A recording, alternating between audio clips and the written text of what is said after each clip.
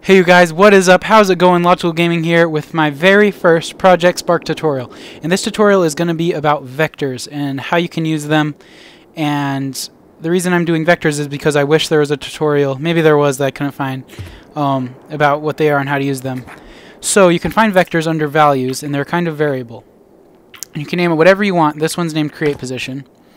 And each vector the purpose of vectors is to put an object exactly where you want it, on the screen or in world, in 2D or 3D.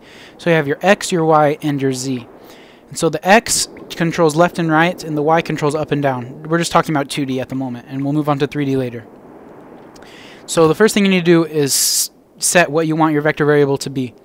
So we'll say, you have to say vector, whatever variable you have, then whatever um, kind you want, equals, and then whatever numerical value. And another very important thing is that on the screen, the middle is 0, and so it only goes over 1 and over to negative 1. And so all your values are going to be negatives pretty much. So I'll copy and paste this and just change it to a Y. And then we have to choose what to display. So we'll, um, you go to Interface, Display, and then very important thing is to choose on-screen at, because usually um, it's really easy just to use these um, where on the screen you want it to be, but you need to use the on-screen at tile. And then you put your variable. But we also need an object, so I'll choose object. Doesn't matter what it is, we'll just use this acorn because it's right at the front. And so it should display at over 0.5 and up 0.5, so right around here. There it is. So that's all you need to know about putting an object exactly where you want it on the interface.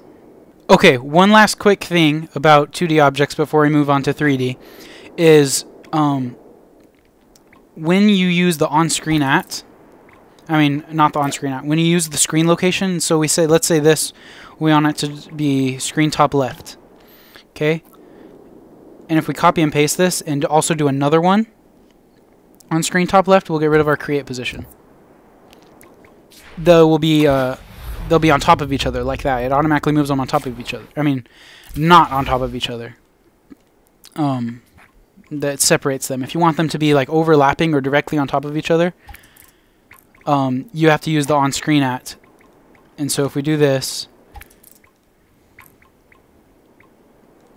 change this to on-screen at as well, and we'll need to um, I'll do a different object, because if we do this right now, you can't even tell. They'll be perfectly on top of each other. So we'll choose a different object. So let's say we do, oh whoops, dang it, I don't have that. Um, this bird egg, for example. They'll be on top of each other, like that. So that is one cool use. You can make like health bars or something that overlap slightly, or really anything you want. Now, onto the 3D. Okay, so the pretty much the primary difference between 2D and 3D, we'll clear out this, um, is you need an, an x value. I mean, not an x, a z. And so um, we'll set our create position like we did before, the z. And we want, I want to make an object that is relative to my player's current position.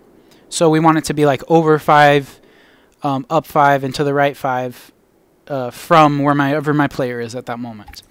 So what we need to do, we need to go to objects and me, so that means my. So my position, wrong click, my position, and then we choose Z, because it has to match, or else it won't work. So my position Z plus, and we can do whatever number we want. So we'll let's just go, let's just do 4, or 5. Why not 5? And so I'll do the same thing with these other two. Copy and paste this. And we'll change it to...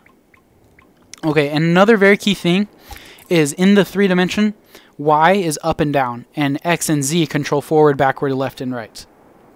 Um, which kind of confuses me sometimes because, I don't know, it seems like the Z should, should change it up. So I want to make an object that um, isn't any higher than my player's current position. So we'll just make it not, we'll get rid of the plus 5 with the y.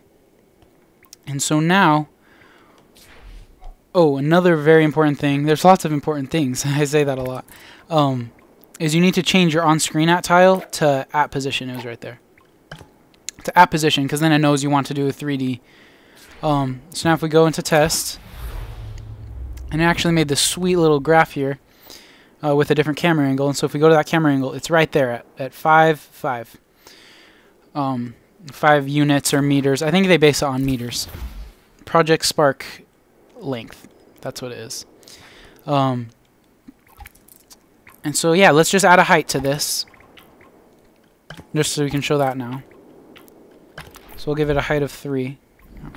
Or nothing. 3. If we go in and do the same thing, as you can see, it's now it's higher up. So this is really useful when you want to make an object exact position. So if we go to tab, it looks pretty much the same, but it's higher. Okay, one last cool thing with these vector variables is that you can actually just display the straight up vector variable. So if we just do that, and I'll make this be um, above, just so we can see it. It'll actually show you your three values, x, y, and z, um, as they change, because it's based on the player's position. So that's pretty cool. It's kind of like Minecraft, where you can see your coordinates, or any other game where you can do that. Um, so that's pretty useful as well. And then uh, if we want to get really tricky and kind of inception, we can make this, um, we'll display our create position at position, create position. Now I don't know if this is going to work. We're going where no Project Spark player has ever gone before. But we'll see if it works. So it should be up high. Yeah, check it out. It's up high over there. That's pretty sweet. It, you can't really tell like uh, how far away it is. Huh? But hey, that worked. Ta-da!